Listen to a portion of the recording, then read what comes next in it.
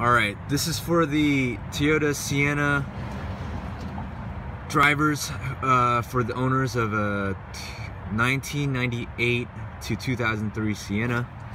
And in any of your sliding doors, whether it's the passenger or the driver's side, sometimes if this latch, which hooks onto this guy, ever gets pushed down by accident or on purpose, and if it's flipped down like that, you can never close the door. Here you can because it flips back up. But anyways, in my situation, it was not up like this, and yesterday I was trying to gently pry it up, and you can't move it because after opening the door panel and ripping off the plastic sheet right here, you'll see in the back right under this piece here, there's a little pin. And there it is, right there. That little pin right there.